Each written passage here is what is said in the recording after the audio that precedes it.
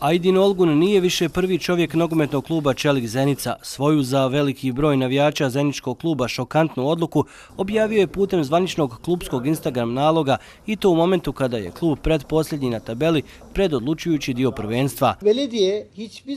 Općina nikada nije bila iskrena prema klubu. Također nije platila poreze prema dogovoru, ali sav prihod najma prostora i terena nogometnog kluba Čelik uzima općina.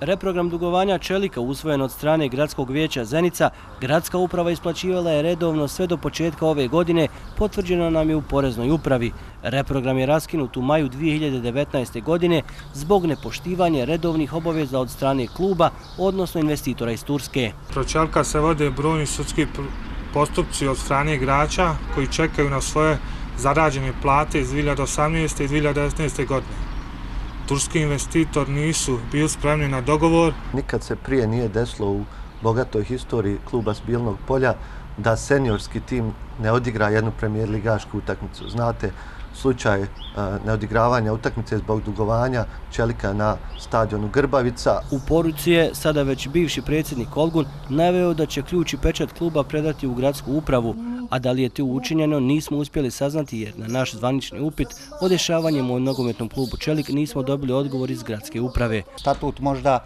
ne podrazumijeva predsjednika Skupštine predsjednik radnog tijela, koje će vjerovatno u vidu desetak ljudi, ljubitelja nogometnog kluba Čelik, sazvat za koji dan i, i, i pokušati se odrezati zajedno sa gradskom upravom šta dalje s ovim klubom. Saopćenjem za javnost reagirali su iz udruženja Robijaši 1988.